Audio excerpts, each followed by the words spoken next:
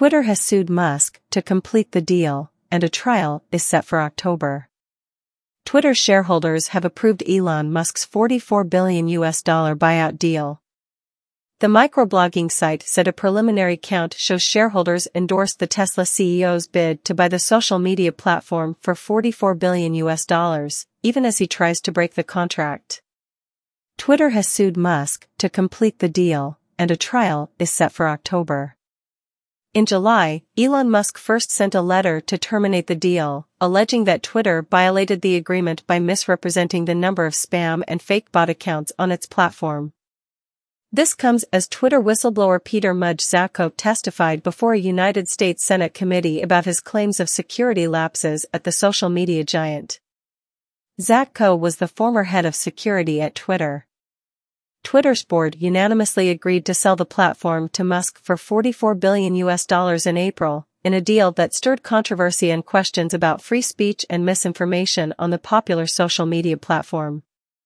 But a couple of months later, Musk's lawyers said Twitter failed or refused to respond to multiple requests for information on so-called spam bot accounts, which is fundamental to the company's business performance, and they moved to back out of the purchase.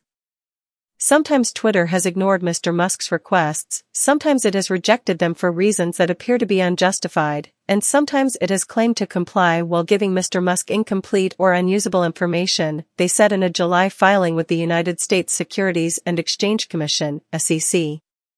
Musk wanted to pull out of the deal because the social media company was in a material breach of their agreement. He disclosed in a series of regulatory filings that he unloaded about $6.9 billion billion shares of his company Tesla Inc. Elon Musk has sold nearly $6.9 billion worth of shares in Tesla. Musk reserves all rights resulting therefrom, including his right not to consummate the transaction and his right to terminate the merger agreement. Twitter Incorporated reiterated that it will hold Elon Musk accountable for the terms of his proposed 44 billion US dollar takeover offer after the billionaire again threatened to pull out of the deal over the issue of bots.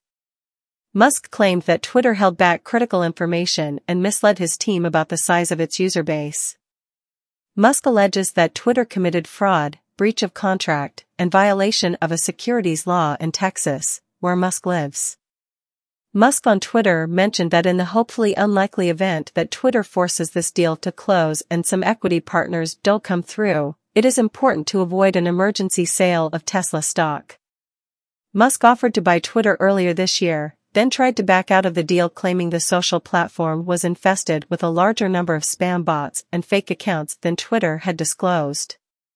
Musk's lawyers said he tried for nearly two months to obtain information about fake accounts on the platform, which he claimed Twitter never provided. Will Twitter control the narrative if Musk takes over?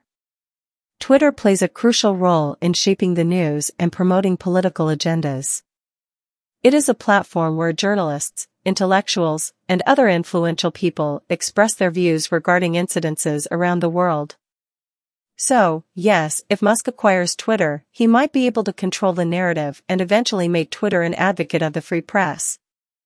Well, now it seems like Musk was not so much in the goblin mode when he decided to take over Twitter.